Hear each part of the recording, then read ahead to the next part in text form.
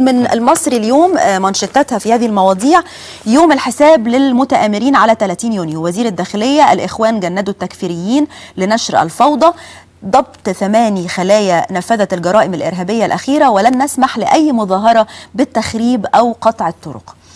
البعض بيقرأ في آه، بيان وزير الداخلية والحقائق اللي آه، نشرها امبارح بالتفاصيل وبأسامي أشخاص وبعمليات يعني تم إنجازها.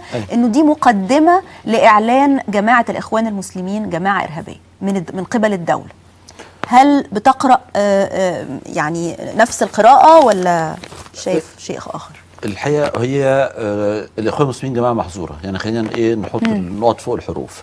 ولم تكن ابدا جماعة آه، مسموح بها منذ سنة 54 ابدا. لم لم تدخل ابدا ضمن الإطار بس في فرق بين وإرهابية آه، طبعاً. إرهابية. آه، ممارسة الإخوان للإرهاب كانت على يعني على فترات متفاوتة من الأربعينات لحد النهارده. ال- الفترة الأخيرة خلاص تورطت الإخوان بشكل واضح في آه، عمليات آه، إرهابية. لكن آه، هل في قانون في مصر بي- بيحدد جماعة بالاسم بأنها جماعة إرهابية؟ الحقيقة يعني في شكوك حوالين دوت.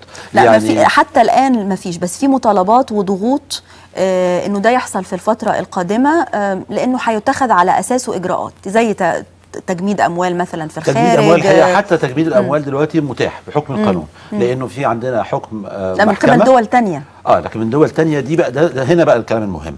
إحنا بنتكلم على تنظيم دولي بيعتبر مصر آه، ساحة لمعركته في الوقت الحالي. تنظيم دولي متحالف مع أجهزة مخابرات آه، سواء إقليمية زي تركيا وزي آه، قطر أو دولية في وقت من الأوقات بشكل واضح كان مع المخابرات الأمريكية. التنظيم الدولي آه، علشان نواجهه محتاجين جهد دولي.